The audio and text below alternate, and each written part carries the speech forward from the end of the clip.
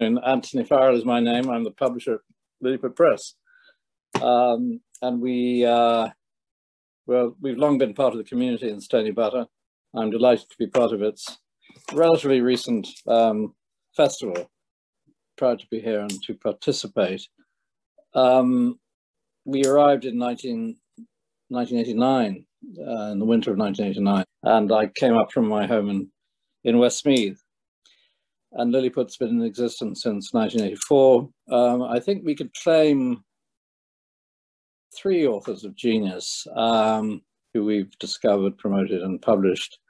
The first would be Hubert Butler, a Kilkenny essayist, who, who died in 1992 and became a, a household name, published internationally.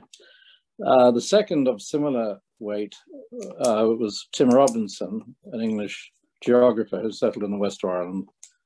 Um, and thirdly, we come to uh, a true and exceptional man, John Moriarty. Um, and we began with his book, Dreamtime, launched by uh, a local politician called Michael D.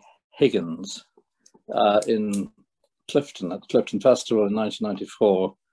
Uh, same time as Riverdance, harnessing an extraordinary output of, of John Moriarty's subsequent works. We, we published eight volumes, I think, of his of his writings over a period of 13 years before he died in 2007. And uh, it was a wonderful, rewarding relationship. Um, he was a, a, a Kerryman living in Connemara when I first met him. I met him through a local author and friend in Westmeath called Leo Daly, whose first novel I published called The Rock Garden. Um, and he told me about this extraordinary man in the West, and, and we went out to, to meet him. And he had this manuscript, Dreamtime, which he'd been working on for 15 years. So we followed each other up to Dublin, so to speak. Um, then we, we since his his passing, we've been sort of blessed with various interpretations and commentators uh, who've created books out of the books and adding their uh, their their, um, their take on it. Um, Aidan Carl Mathews would be one. Uh, more formally, Brendan O'Donoghue, who, who wrote the Moriarty Reader um, with scholarly annotation um, Mary McGillicuddy, uh, who knew his family and background so well, uh, who wrote a wonderful anthology called Not the Whole Story. Um, Shauna Hearn and Michael Higgins, their relation, um, who wrote a book called Introducing Moriarty, broadly for an American readership. And, and now we come to Martin Shaw and his anthology, A Hut, which, which we're celebrating in and through this festival. Um, Martin himself is a formidable writer and author with some half dozen books published in, in both the UK and the US. Uh, he hails from, from the West Country in Devon, uh, where he is currently reader in poetics at the Dartington Art School. Um, and there he founded both the oral tradition and mythic life courses. He, his collection of Celtic stories and poems is called Cinderbiter, and that was published in 2020 by Graywolf Press, a very distinguished literary imprint. And his more recent works include Courting the Wild Twin, The Night Wages, Wolf Milk, and Smoke Hole, all published in 2020. Um, he's, he's also a delightful artist, and his drawings um, form headpieces to the themed selections of, of this present book.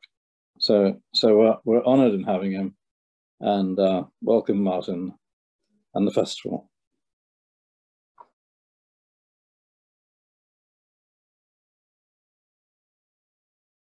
Um, one of my friends, who's a, a great Moriarty devotee, he's, he's, a painter called Anthony Murphy, he lives in the south of France, um, has read Dreamtime to bits, really. And every time he comes to stay, which is about once a year, although not in the last year, obviously, he, um, he says to me, "Why don't you put Moriarty's sayings up on the wall?"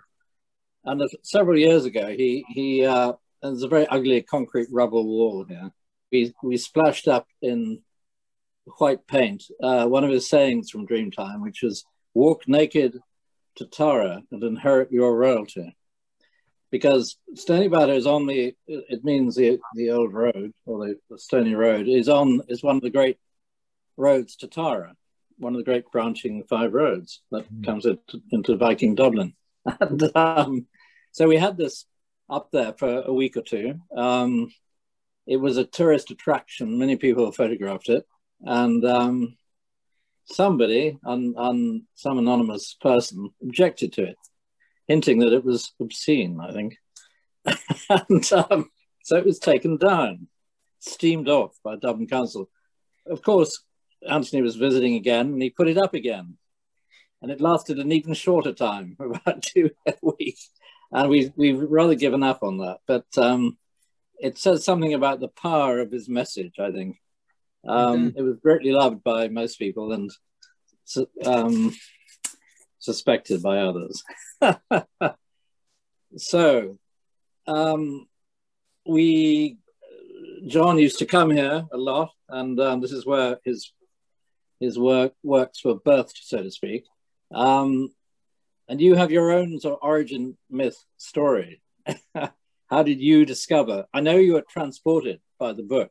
You were on British Rail, but you had a different type of transport, and you were I, making a long journey, which is yeah. still continuing. yes, absolutely, it is continuing. Nice to be talking with you, Antony there aren't, I, I, don't think there's a huge amount yet, although this may be about to change, a huge amount of English Moriarty readers. There's a few. Yeah. Somehow I'd ended up with a copy of Dreamtime. This would have been a decade ago. And I was catching a train from Totnes in Devon all the way up to Norwich in East Anglia, which is a, it's a fair old hike and was going to involve negotiating London at Christmas, getting off at Paddington, getting over to probably Liverpool Street and then on. And all I can remember is around Exeter opening the book. And so I can't I can't recall. I can't recall. This is one of the it's either it's either brain fog or some sort of mildly miraculous event, but I can't remember how I got the book in my hand. But I was suddenly aware that seven hours had passed. I hadn't, I had no real memory of moving through London. I couldn't remember the tube. I couldn't remember the stairs. All I could, all I knew was that I had been well and truly claimed by this extraordinary book. Now, my background is in mythologist. I'm this rare endangered species called a mythologist. Mm. So Moriarty's incredible dexterity when it comes to a knowledge of, for example, is um, uh, Indian, you know, the Vedas through to the, you know, the Upanishads, through to Beowulf, through to Black Elk. That kind mm. of agility is dazzling, but I recognized quickly what he was doing. But what is so unique about John for me, Moriarty's work, is that on the one hand, he has that kind of almost universal ability to dive deep wherever he goes. But at the other, he really remains rooted in Kerry. He remains utterly localized. Hmm. And mm. that combination of, in, of intense depth and great diversity of growth was pretty dazzling to me.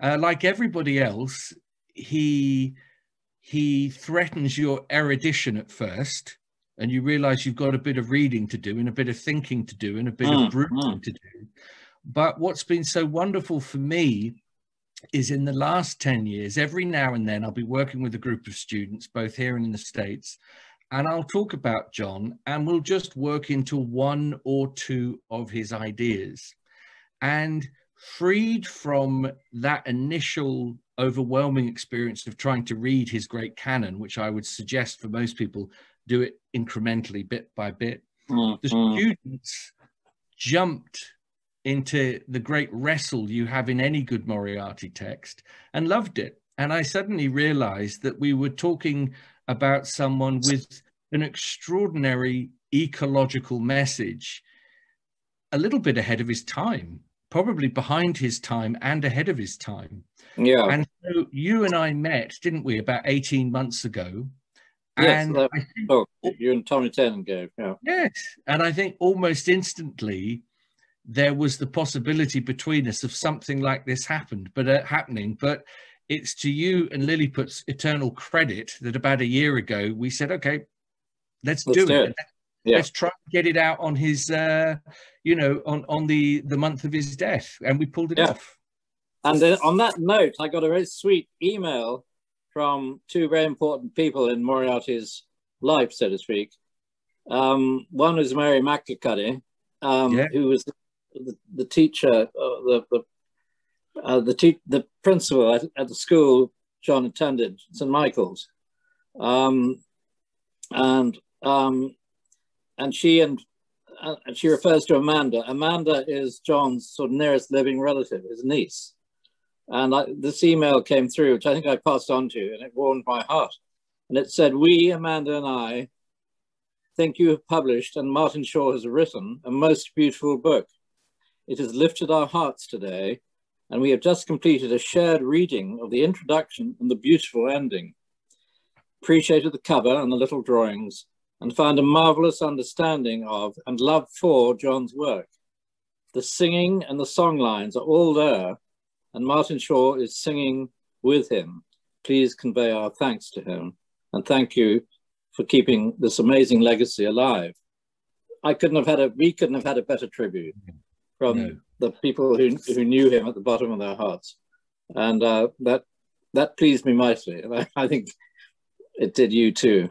Yeah. Um, on the subject of books, which we're surrounded by, um, books are famously built from books. And, and for, for John, he talks about the impact that the origin of species had in, in sort of opening a door into the unknown for him and challenging his, his Christian perceptions in a way that Mr. Poots would never allow. um, did any such text play a role in your evolution, of the evolution of your thought? It, was there any extraordinary book or, or series of books that Um, tilted your universe? I, I mean, in, a, li- a little, there's a very famous photograph, isn't there? Well, it's famous amongst Moriarty fans of John in his front room, surrounded by piles of books. Absolutely, fire, yeah. and, and so yeah, at the at the end at the end of this, I described them as his Stonehenge, his yes, Eranos. you have a beautiful passage. Well, it Yeah. was it was a feeling. One of the things that is attractive to me in John's work is a kind of introversion that I can detect, and like a lot of people, uh, I'm not remotely unique in this. That's something I experience in myself, even though I manage to occasionally channel it into a civic and public life. Mm. So, like like Moriarty, there would be almost too many bedrock texts to mention.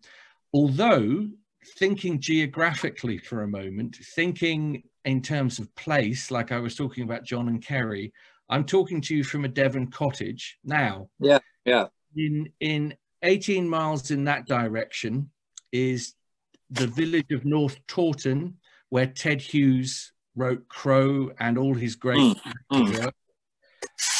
Work. 10 miles in that direction is the village of Galmpton outside Brixham, where Robert Graves wrote the first iteration of The White Goddess when it was called The Roebuck in the Thicket. So I'm caught in the energetic familial line of Mm. Graves Hughes. So I think, because of course, like anybody, I could pick so many, I would probably say that in a div- my sense of a Devonian lineage comes out of those two writers. And you reminded me, didn't you, of a strange conversation you'd had where John said that he'd known Ted. He'd met him, yes, he babysat for him. That was it. he was Wow. with his um, second or third wife in Devon, I think, well, unless it was London, but it's during his English period. Extraordinary, yes, and and he revered Hughes, yeah. Mm. One of the other things when I started to do the serious reading that I knew the book was going to take, one of the things that assisted me is that I I grew up in a theological house. Uh, my dad and my brother are preachers. My sister uh, mm. seven children, and yeah. uh, you know, in her Catholic household, there there was a there was a. Where did you come in the hierarchy? Were you? I'm the, old, I'm the oldest. Oh, you're the senior. Okay. I'm I'm the, I'm the senior. Then I have a younger brother Tom who has a church in San Francisco, and my sister Anna and her family, who are based in uh, based in Norfolk actually. So I the thing that was so extraordinary about Moriarty is on the one hand, he's digging into a kind of Christianity we barely have the words for yet. And at the same time, he's so porous as a thinker, he mm. keeps bringing in other faiths, other philosophies under this wide, extraordinary kind of Christianity that he's beginning to blow on the embers of. Yeah, I haven't, yeah. I haven't come, I haven't come across that yet, ever so successfully done. Mm. And of course, what's so hard is that just as we remember, he was saying, okay, a hedge school for Kerry, he realizes that he's at the end of his life. Yeah. And he wrote that wonderful little book as a sort of farewell called Serious Sounds, where he really reverted to his earliest faith, I think. Yeah. quoting quoting the Philip Larkin yeah. uh, going. Yeah. Um, can I address something else, which is, I've just called it the difficulty question. Um, looking at the Irish Times review of your book, which came out, which was headlined, Is Ours an Utterly Deviant Planet? It was by the, the sort of in-house philosopher there called Joe Humphreys. I'll just quote briefly. He says, don't mistake the book for a tribute act. It's a work that cries out for attention Moriarty's plea for an urgent stillness, a fracturing of space-time to allow nature to breathe and give us a chance of emotional rebirth. It's very good, this. Um, it's just what a pollutant species of unhappy mammals needs to hear. He then goes on, the book is not an easy read. As much as half of it went over my head, as Moriarty's mental gymnastics tumbles him from Norse folklore to Hindu mysticism vaulting over obscure biblical references and Nietzschean insights to draw out some uncertain points. But when his words land, they do so with force. Now, this comes up often, the difficulty question, the struggle, you know, the, the neologisms. Um, we, we, uh, at the end of his books, we, we do, we are quite careful to, to um, give a glossary for, for, the, for the more obscure terms. Um, which John himself just dictated off off the top of his head, and I transcribed. Um, and that there are sort of Joycean immensities here, um, and but I think that Moriarty gives us the tools of understanding with the language that he uses, and it, it's it's unlike you know the the uh, true opacities of of the best-selling Mr. Hawkins, whose Brief History of Time is a bestseller, but was I think rarely read. mm. um, I, I, you know, suggest that John um,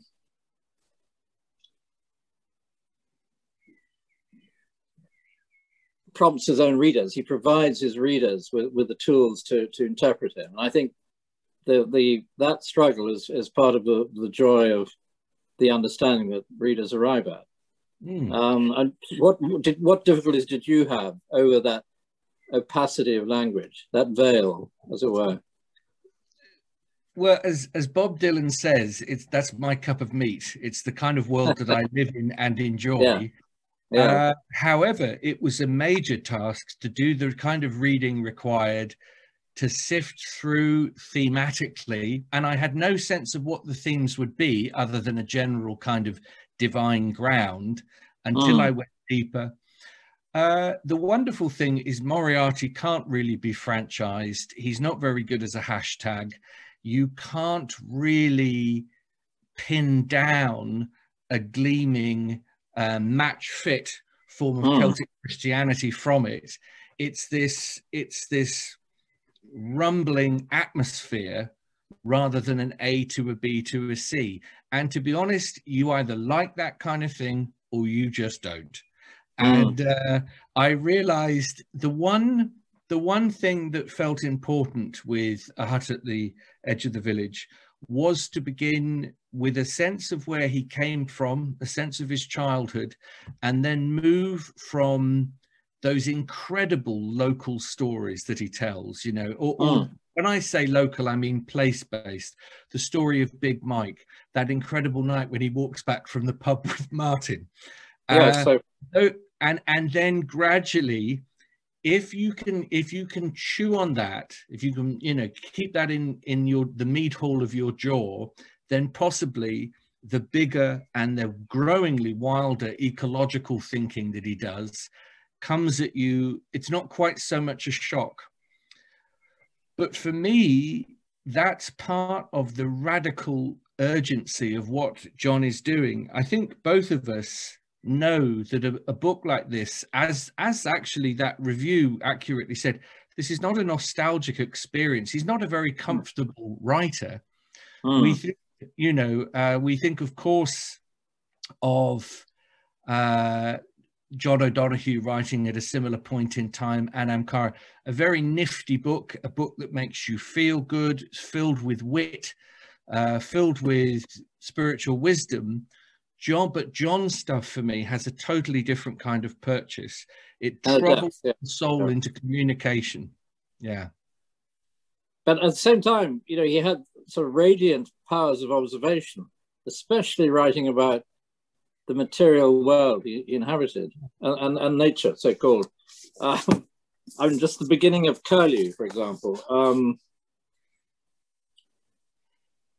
I'll just read the first three paragraphs. Um, now again, I live in a mirrored, a river mirrored house. This is in Tungola, in Connemara, a house, a cottage, and the river that mirrors it, broadening out twice a day into an estuary lake fished by otters and herons, and when the salmon are running, by a sole old seal. One of the herons I know, screeching and croaking an angelus that announces only himself, he comes in flying low over the water, and the rhetoric of his wing folding perfect, he stands there outstandingly, poised for the kill. Young though he is in, his in this lifetime, he is old in incarnations. Wonderful. And there is sort of the particular and the universal just captured in, in one extraordinary image. And, and this think, shines through his writings. Yeah, everywhere. It, it, it is extraordinary. I tell you what I'll do, as you're reading a bit, I'll read a bit. Yeah, yes, uh, so this is this is you know for I'm very aware that most people watching this won't have probably have a clue who I am, but a lot of my life over the last 25 years has been as a oral storyteller, stand and deliver. Oh, thank thank you for. Well, here are your wonderful books. Bless Martin. you. Uh, I, am pleased to see my little friends.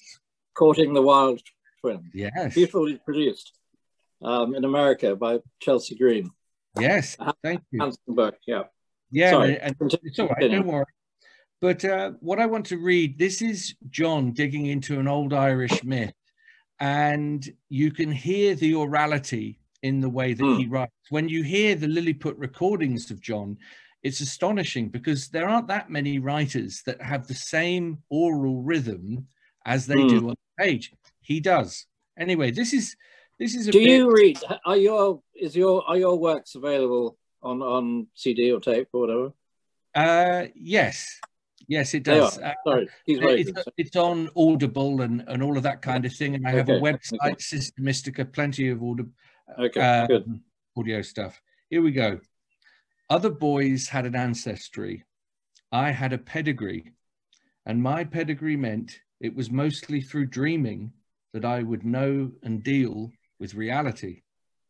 Overflowing all inner and outer banks, dreaming would sometimes be an inundation, an outcrop of waking, nowhere in sight. Even when he was near me, talking to me, my father was far away, in bird form, among birds, their underwings raucously red. That's how I would remember him. My mother looked after a king's cattle. She had cures. and she Hmm. crossed into other worlds as easily as someone who had slept all night crosses into waking. Sometimes a long sojourn in another world would fall between the two parts of a conversation I'd have with her. That is some great writing. Yeah, yeah. It- no, it- it- It's spacious, unhurried, and great storytelling. yeah. Uh, and all from originally, you know, your book Invoking Ireland. Um, so I just, I fell in love with the language. I fell in love with the difficulty. I fell in love with the wrestle. But I did feel the one thing that possibly I could add to this great Moriartyan conversation is try and open a door. And this is very much part of what Mm. you and I were talking about to an audience that maybe simply wouldn't bang into him. Maybe they're not in Ireland. Maybe they're in the States. Maybe they're younger because, well, this is I- your following. It's wonderful. Yeah. You're passing the torch. Yeah. yeah, really trying to do that because uh, I think a Moriartyan consciousness is a very good idea. And I just say this one thing. When you're presented with his canon and you open up the books, it can be a bit overwhelming.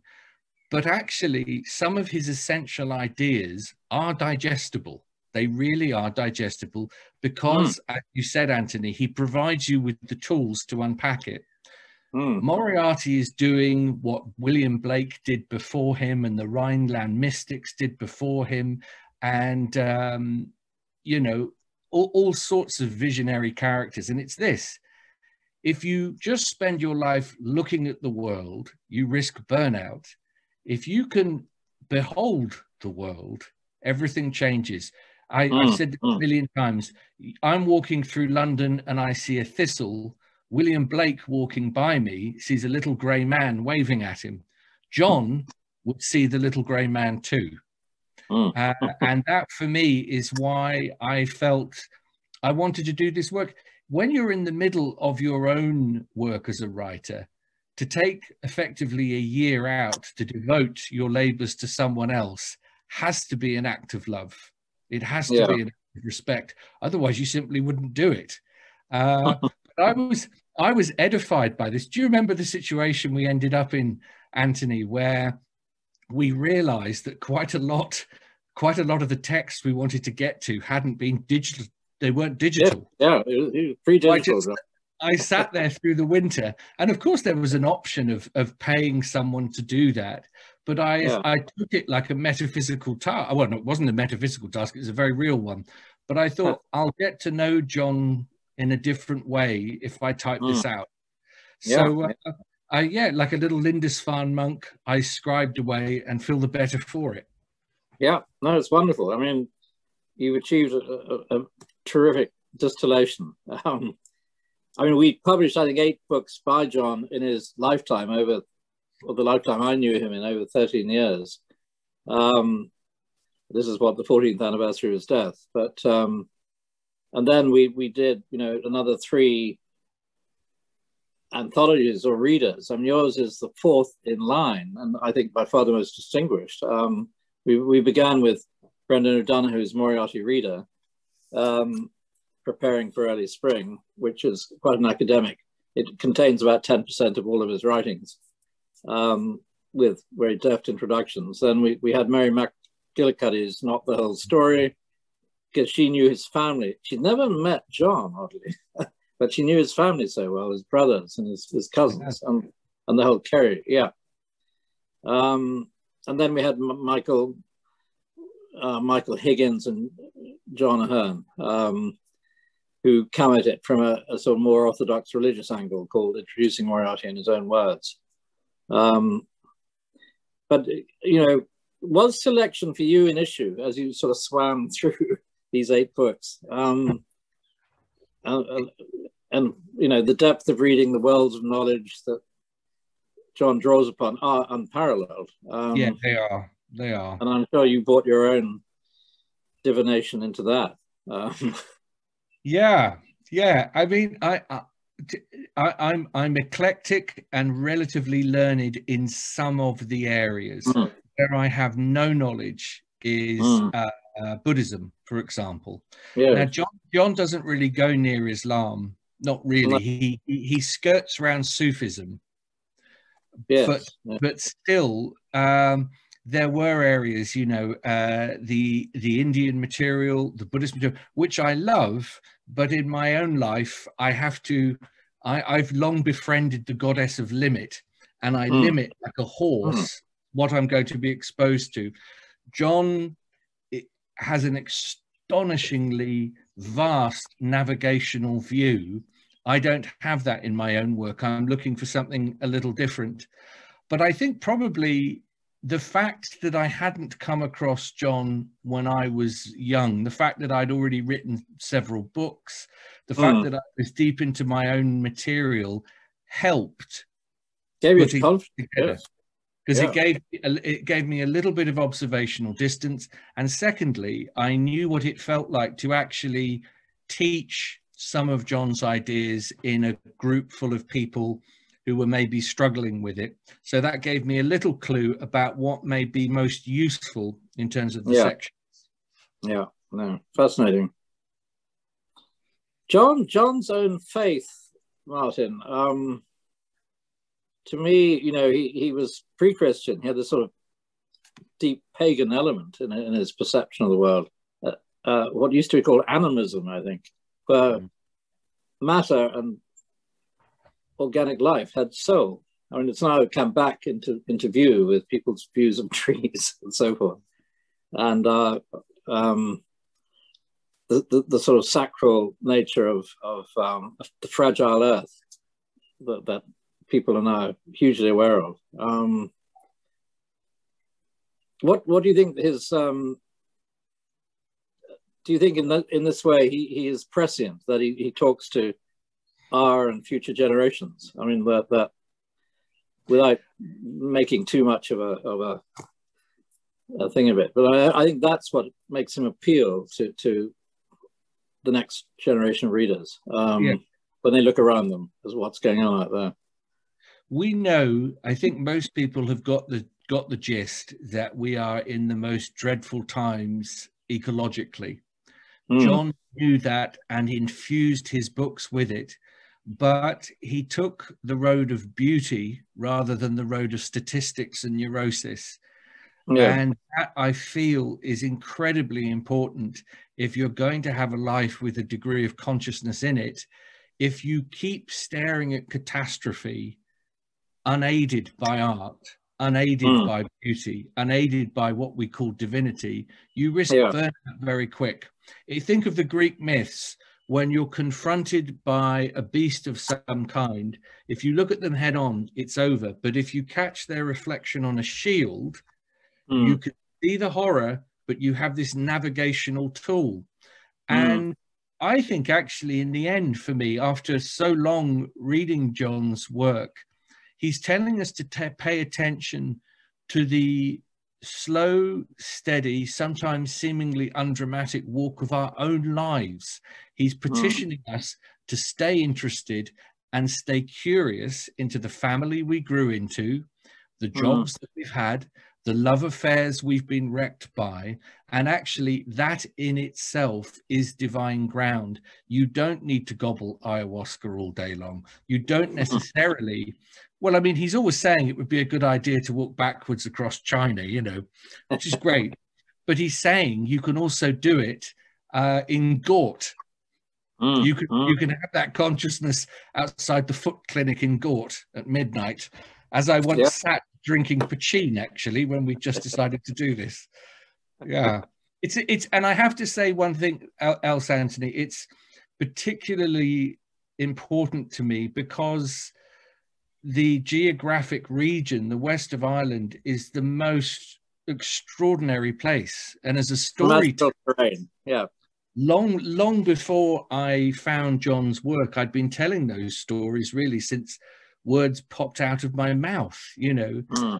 and and it's it's where a lot of my blood comes from Yeah. So- as you, yeah so as you're, i you're a Mayo man at heart. well as i as i approach i'm 50 in october and Yeah. this this is the beginning of me trying to do good service and good work to a country Mm. that I care very much about. Yeah, Yeah. I really feel that. No, it's great that, you know, to have a, a younger, I'm 70 now, so to have another younger keeper of the flame, Martin. Oh, thank you. Thank you, Antony. I appreciate that. And whoever's, uh, there'll be people listening to this that knew John well, and I didn't. Uh, but I hope, and I also want to, I want to give libation and en- to encourage, if you like A Hut at the Edge of the Village, get the other books. Lily Lilliput Yeah. have a whole quiver of them, you know. Um, There be- sounds. yeah, Yeah. Be, be fiscally bankrupt for a while and spiritually uh, replete. Yeah, there they are. There they are. The beginning and the end. You know, Yeah. Dreamtime, such a wonderfully, it was launched by Michael D. Higgins before he became president. And um, we were pushing people out the door. I think we sold 500 copies. Such was the expectation. Oh, nice. That- Everybody knew he was brewing this book. And, and then, you know, we managed to get it there. I think um, we should probably wrap and, um, Yeah. so to speak. um, and thank you, you, you um, for announcing him to a, a new generation and a, a, a wide, you know, a wider diaspora. And I think I think the Yeah. world, the word will continue spreading. an, an, an absolute pleasure. And I look forward very much to being over in Ireland with you and hopefully making you friends and talking about John and his work Yeah. soon. okay, Martin. Okay, good to see you and hear you. Bye. Thank you very much, Antony Martin and the Stoneybatter Festival for hosting this event. Um, A Hut at the Edge of the Village, which is edited by Martin Shaw, is available now from Lilliput, in store, online, bookshops, and anywhere books are sold. Um, yeah, thanks once again to Stoneybatter. Thank you guys for tuning in, and hopefully we'll see you soon.